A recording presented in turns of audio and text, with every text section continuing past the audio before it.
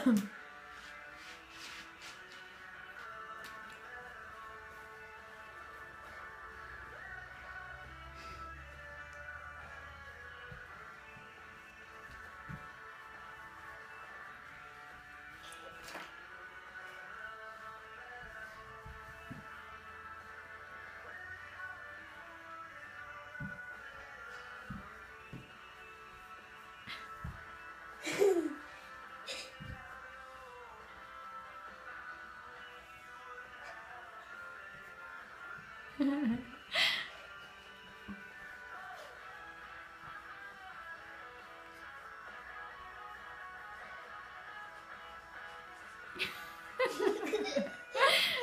the side kick again.